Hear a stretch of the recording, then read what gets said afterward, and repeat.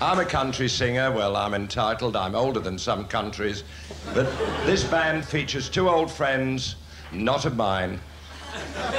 But it's BJ Bob, Kevin Sean, and John, the amazing Lynda Hayes. I always wanted to be a country singer.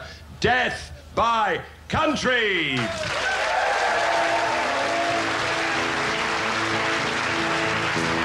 Always wanted to be a country singer from the day that I first sat on Mama's knee.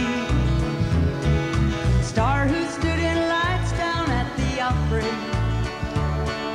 It's all I ever wanted to be. But I do not know if I will ever make it as the greatest country act under the sun. It's a long, hard road to be a country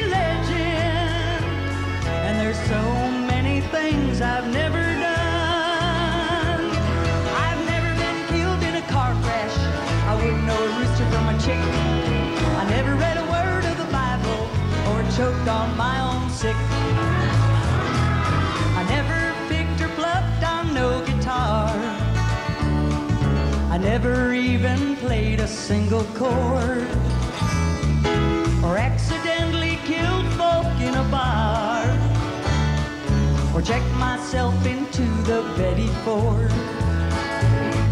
My husband never left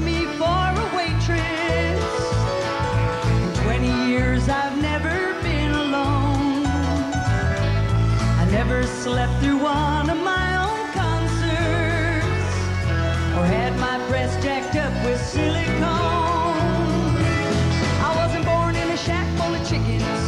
I never hitched a ride on a train. I never been killed in a car crash. I never been hit by a plane. Take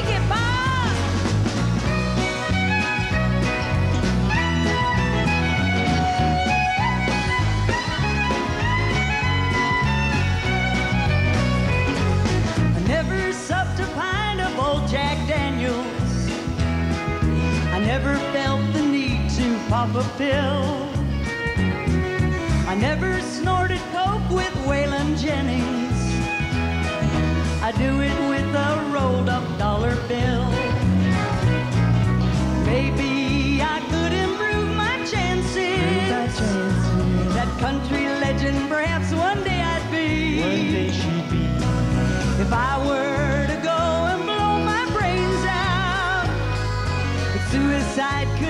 the death of me. Oh, yes, sir. I never got pregnant by a cowboy. I never got slung in jail.